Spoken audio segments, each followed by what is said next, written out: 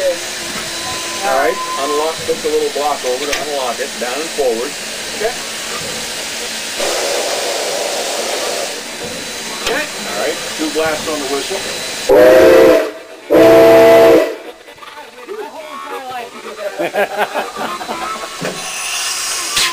Somebody's quoting a movie.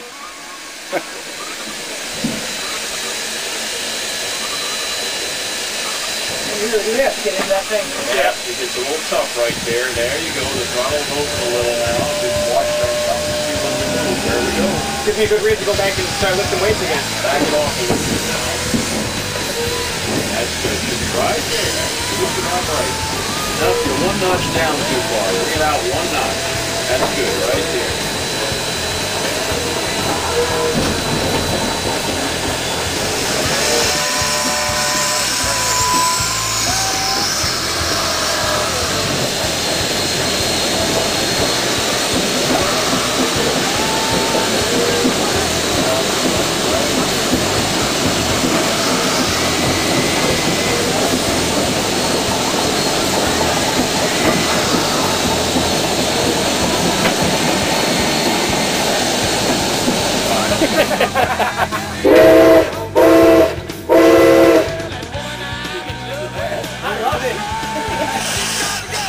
That's awesome.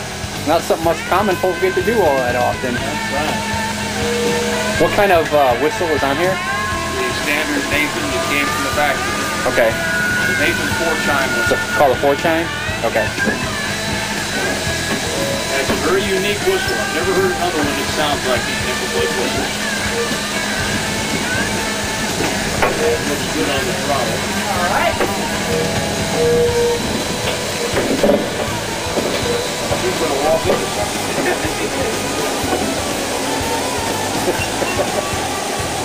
You know, I got a lot of video of your girlfriend walking in the in the background there.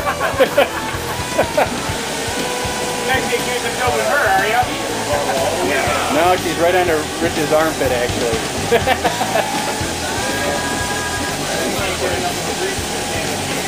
Well, when it gets going down the track, it's, you get it a little more free. yeah, this is probably. The kind of firing he's doing right now is the most difficult there is because when the engine's working harder, it's easier to make Yeah, you got the drift.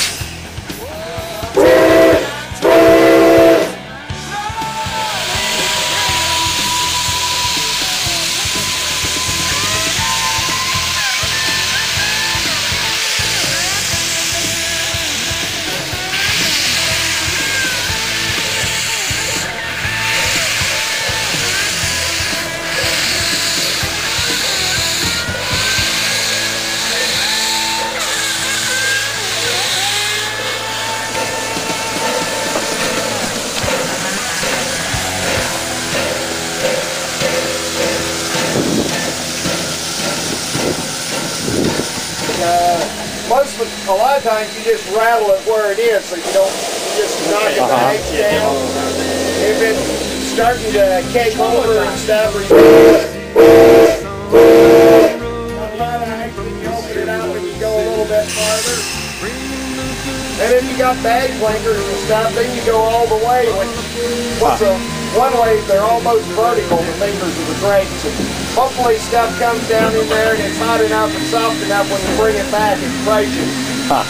If, it, if it's too hard, then you got big problems. Under normal operating conditions, how thick is the bed of coal that's on there? Okay.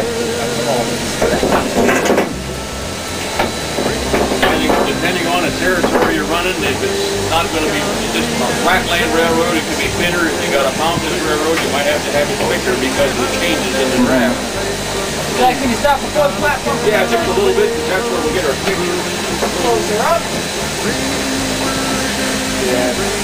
Open